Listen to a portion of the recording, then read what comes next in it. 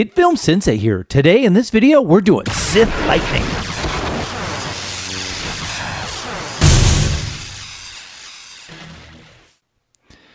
All right, so I have basic Sith Lightning raw footage here where I'm holding a lightsaber and then I stick my hand out like I'm firing those lightning bolts at the bad, evil Jedi opponent here. Okay.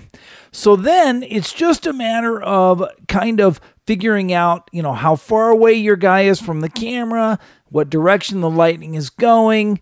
Uh, you know, what sort of a look you want for that, okay? But they're always going to come out of the fingertips first. So, what I did was I first started by tracking the index finger, the middle finger, the ring finger, and the pinky finger because I'm going to have four different um, points that four different lightning bolts are going to come out of. So I track those four. And if you don't know how to do tracking, there's lots of videos uh, online that will show you how to do that in HitFilm.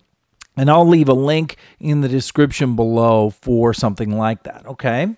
Then the second thing I did was I said, well, I need a target where the Sith lightning is attacking. So I created a target point off screen here where the Sith lightning will be going towards. Okay. So then I started creating the Sith lightning itself. I created a plane. Okay. And then I called that Sith lightning index. All right. And here it is. What I did was I started by dropping the lightning and electricity effect and I renamed it index. Okay. Under that, I you can change the seed if you want, but you definitely want to make some adjustments. You want one trunk, you want wave scale to be about 0.2, twitch scale to be about 0.15. Again, that one may vary, uh, but you don't want it to be too wildly waving and twitching. Okay.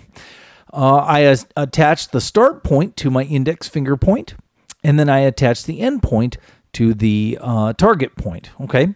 Now I'm fairly far away from the camera, so I made the width of the start point only 0.5, but you can make that bigger or smaller. Uh, but since the lightning is coming towards the camera here, I went ahead and made the end point growth, uh, or width, I mean, to 5. Okay. And you'll notice that I did keyframe the growth over time. So I started back here at 0 and then it extended out and that lightning fired forward. Okay. So that was basically what I did with those. Then I added three different effects on top of that. One was a flicker effect because if I didn't add the flicker effect, the lightning would just be constant there the whole time. And I really wanted it to kind of flash on and off. So I added a flicker effect so that way it kind of flashes on and off. And I messed with the seed and I changed the frequency and amplitude until I felt I had a good flicker effect. Then uh, I added a glow effect to it. Okay. And that glow effect adds some more, you know, power to it, right? Uh, and I messed around with the uh, settings on this intensity 1.5, threshold at 40%, radius at 70 pixels for this particular shot. And again, your shot may change, but I think a glow effect is definitely a good idea to have in terms of uh, having Sith lightning going on here, okay? Then, last but not least, I added a motion blur effect. Now, I didn't actually change any of the settings of the motion blur, but you can do that as well. So that way, it is kind of blurring as it's moving, uh, and it makes it look more ferocious, more powerful. Okay. Then I just duplicated that plane and I added one for the middle finger, I added one for the a ring finger and I added one for the pinky finger. In each one of those, I did change the seed values for both the lightning effect as well as the flicker effect so that they weren't all flashing and looking exactly the same. And I messed around with those until I felt I had something that looked pretty good. And then when it was all done, I had this.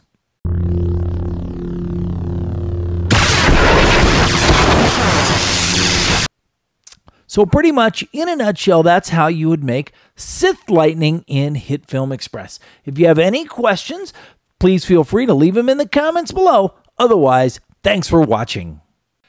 If you would like to keep up with the latest tutorial videos from HitFilm Sensei, consider liking the Hit Film Sensei Facebook page, following the Hit Film Sensei Twitter feed, and subscribing to the Hit Film Sensei YouTube channel. The links are in the description below. A new video comes out every Friday and Monday, and thanks for your support.